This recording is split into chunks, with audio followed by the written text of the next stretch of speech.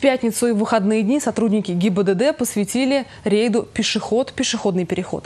Вероятно, хотели образумить нерадивых пешеходов, но и водителей-нарушителей. Однако у населения подобные методы воспитания популярностью, видимо, не пользуются. Кто же должен отвечать за наши жизни, если мы сами не соблюдаем правила? И почему по статистике так много пострадавших прямо на пешеходном переходе? И сегодня люди слепо верят в то, что пешеходный переход, вот эта зебра на асфальте, зеленая лампа светофора гарантирует им безопасность. На самом деле это не всегда так. И, наверное, где-то половину людей мы теряем именно на пешеходных переходах. Да, мы задержим этого водителя, который не пропустил пешехода. Мы накажем его, оштрафуем на тысячу рублей целую. Но человека не вернуть. Вот это главная мысль, которую сегодня надо доносить до пешеходов. Пешеходный переход не гарантирует безопасности. Там нужно непрерывно смотреть по сторонам. Вот это важно. В этом году уже зарегистрировано 152 наезда на пешеходов.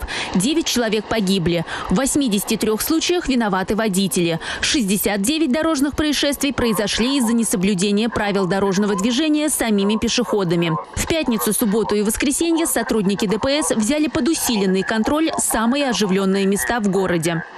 Пешеходы чаще водители нарушают правила дорожного движения. В результате проведенного рейда к административной ответственности по статье 12.29 нарушение правил дорожного движения пешеходами было привлечено 237 человек.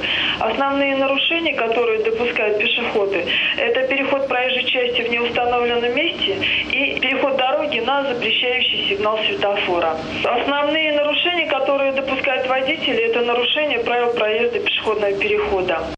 115 водителей оштрафовали полицейские во время рейда. Эти автолюбители не посчитали нужным пропустить пешеходов на зебре. Больше всего нарушений в центре города. Опасения вызывают район колхозного рынка, остановка «Детский мир». Автоэксперт Альберт Ильин считает, что методы воспитания водителей и пешеходов давно пора пересмотреть.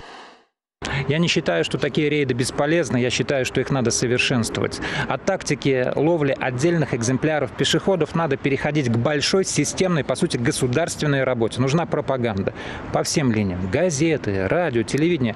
В каждой торговой точке, где, прода где продается алкоголь, нужно предостережение, чтобы водители пьяными не садились за руль. Там, где наши пешеходы в обилии водятся, это больницы, школы, детские сады, да, вот где вот места скопления людей, должны висеть какие-то напоминалки о том, что опять-таки пешеходный переход переход не гарантирует безопасность человеку.